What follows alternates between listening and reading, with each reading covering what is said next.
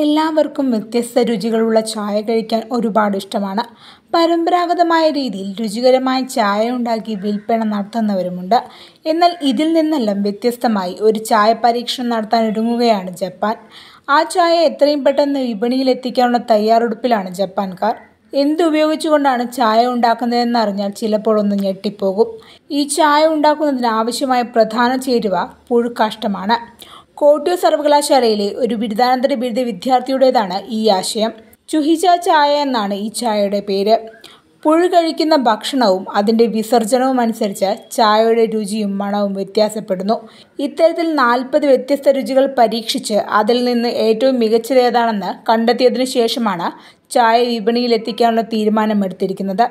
ബിരുദാനന്തര ബിരുദ വിദ്യാർത്ഥിയായ സുയോഷി മറുവോക്കയുടെ പരീക്ഷണങ്ങളാണ് ഇത്തരത്തിൽ ഒരു ചായ പരീക്ഷണത്തിന് ഇടയാക്കിയത്. ജപ്പാനീസ് മാധ്യമങ്ങൾ റിപ്പോർട്ട് ചെയ്യുന്നത് പ്രകാരം സകുര അല്ലെങ്കിൽ ആപ്പിൾ മരങ്ങളുടെ ഇലകൾ ഭക്ഷിക്കുന്ന പുഴുക്കളുടെ വിസർജ്യത്തിൽ നിന്നുള്ള ചായയാണ് നിലവിൽ ഏറെ സ്വാദിഷ്ടമായതും സുഗന്ധമുള്ളതുമായി കണ്ടെത്തിയിരിക്കുന്നത്. ഈ ചായ കൂടുതൽ ആരോഗ്യദായമാണെന്നാണ് സുയോഷി തന്റെ പരീക്ഷണങ്ങളുടെ അടിസ്ഥാനത്തിൽ പറയുന്നത്. ക്യോട്ടോയിലെ സാക്യോ വാർഡിലെ താമസക്കാരനായ സുയോഷി വലിയ പുഴുക്കളെ ഉപയോഗിച്ച് സക്കുറ ഇലകളിൽ ജിപ്സി പുഴു ലാർവകളെ വളർത്തിയാണ് തന്റെ പരീക്ഷണം നടത്തിയത്. ലാർവകളുടെ ഉണങ്ങിയ വിസർജ്യത്തിന് മുകളിൽ തിളയ്ക്കുന്ന വെള്ളമൊഴിച്ച് സുയോഷി അത് കുടിക്കാൻ ശ്രമിച്ചു.